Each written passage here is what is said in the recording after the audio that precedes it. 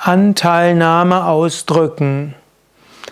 Angenommen, ein Bekannter von dir, ein Verwandter oder deine beste Freundin hat einen Verlust erlitten, dann überlegst du vielleicht, wie kannst du deine Anteilnahme ausdrücken. Letztlich ist das gar nicht so schwer. Menschen machen sich manchmal zu viele Gedanken. Die einfachste Weise, Anteilnahme auszudrücken, wäre, zum Menschen hinzugehen und ihm sagen, mein Beileid. Oder einfach zu sagen, mein Mitgefühl.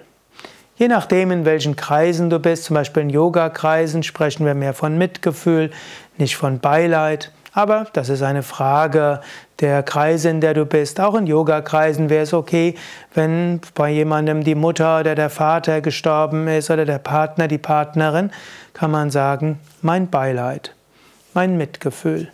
Eventuell könntest du auch noch sagen, kann ich etwas für dich tun? Eventuell, wenn der andere anfängt zu sprechen, dann höre zu. Ansonsten in den meisten Fällen reicht es einfach aus, mein Beileid. Am besten ist natürlich, du sagst es persönlich, du kommst vorbei.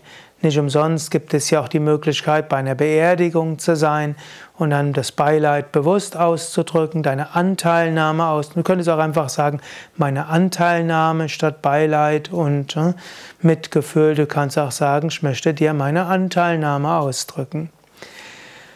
Du kannst auch telefonieren, du kannst auch E-Mail schicken, du kannst eine WhatsApp oder Facebook-Message schicken. Aber E-Mail und Message und so weiter ist etwas unpersönlich. Besser persönlicher.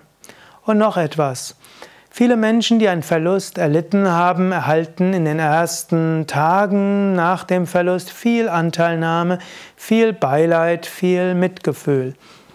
Aber vielleicht brauchen sie ein, zwei oder drei Wochen mehr Anteilnahme. Und deshalb wäre es durchaus angemessen, nach eins, zwei, drei Wochen mal nachzuhaken. Wie geht es dir? Ist bei dir alles in Ordnung? Soll ich mal vorbeikommen?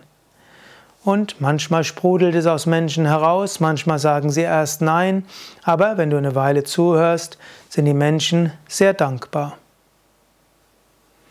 Ja, das waren ein paar Tipps zum, zum Thema Anteilnahme ausdrücken. Vielleicht magst du etwas ergänzen, schreib es doch in die Kommentare oder teile diese Sendung mit anderen und dann kannst du es kommentieren. Mein Name ist Sukadev von www.yoga-vidya.de